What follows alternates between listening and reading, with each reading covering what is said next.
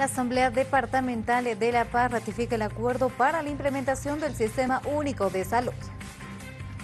Eh, lo, primero que se va a hacer es remitir al Ejecutivo, al gobernador del departamento y el gobernador lo va a remitir a lo que es al Ministerio de Salud para su cumplimiento del convenio intergubernativo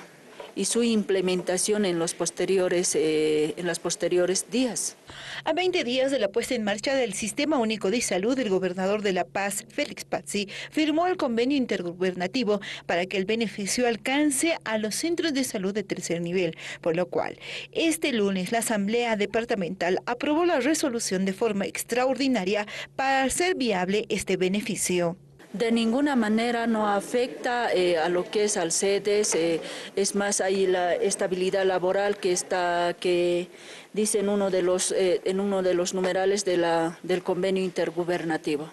Evidentemente eh, ha sido un gran perjuicio en la implementación para el, eh, en el tema de salud, porque los siete departamentos ya han sido implementados, solo faltaban tres departamentos y uno que ha ido firmando ya, porque este es de, de gran beneficio para esas familias de escasos recursos, para aquellos que no tienen ese seguro, que nunca lo han tenido un seguro universal, que ahora va a ir llegando a, los, a las 20 provincias, eh, a toda la ciudadanía del Departamento de La Paz. El Sistema Único de Salud, que está en vigencia desde el 1 de marzo, fija la gratuidad de los servicios de salud para las personas que no cuentan con un seguro de salud. Los convenios validan que el gobierno central haga inversiones en el sector, tanto en infraestructura y dotación de medicamentos.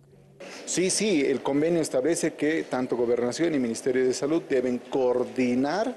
eh, en el tema de inversión, equipamiento, infraestructura y la administración de los hospitales del tercer nivel en el Departamento de La Paz. Es un pequeño paso, pero eh, es importante para el Departamento de La Paz. Vamos a seguir insistiendo de que vamos a hacer un proceso ya de fiscalización inmediatamente. Recordemos que la tardanza de la firma del convenio intergubernativo fue porque el gobernador de La Paz decidió enviar a consultar en el Servicio Estatal de Autonomía, sea el